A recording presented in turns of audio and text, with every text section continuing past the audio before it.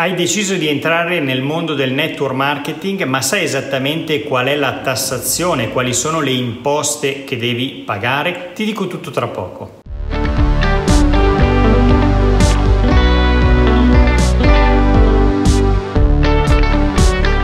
Ciao, sono Riccardo Allievi, sono un dottore commercialista, uno dei titolari dello studio Allievi che ogni giorno aiuta dal punto di vista contabile e fiscale chi fa network marketing. Oggi volevo parlarti di tassazione del promoter, quindi se hai deciso di entrare appunto nel eh, network marketing e sei diventato un promoter, devi sapere che c'è una tassazione appunto sulle provvigioni che andrai a prendere. Questa tassazione è molto interessante e anche molto agevolata, quindi vediamo nello specifico come funziona. Cominciamo col dire che la tassazione del promoter è uguale sia che tu svolga questa attività in modo occasionale, quindi se hai delle provvigioni inferiori ai 5.000 netti all'anno, oppure se tu la svolgi in modo professionale, quindi hai l'obbligo di aprire la partita IVA, quindi se hai provvigioni superiori appunto ai 5.000 euro. In ogni caso la tassazione è sempre uguale. Come funziona appunto questa tassazione?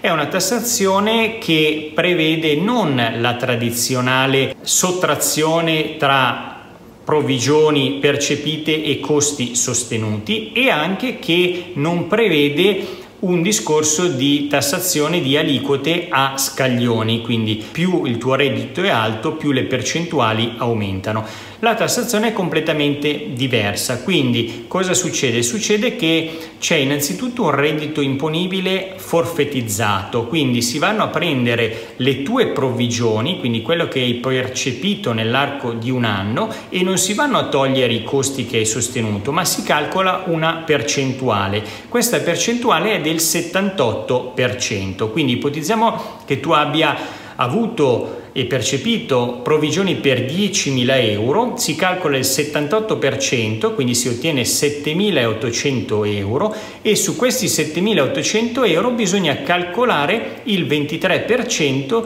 di aliquota a titolo di imposta, quindi vuol dire che pagherai il 23% indipendentemente dall'ammontare delle provvigioni che hai percepito. Quindi considera che se tu dovessi per caso svolgere l'attività da dipendente o anche, anche se è molto raro, da promoter come dipendente, in questo caso la tassazione sarebbe dal 23% a salire fino al 40%. 3% a seconda del reddito che tu hai. Invece nel caso del promoter tradizionale, quindi che percepisce provvigioni ma che non è un dipendente dell'azienda e quindi è semplicemente un incaricato alle vendite e percepisce delle provvigioni, in questo caso la tassazione è appunto calcolata sul 78% delle provvigioni e su questo 78% si calcola il 23%. L'aspetto molto interessante di questa tassazione è che questo 23% è a titolo di imposta.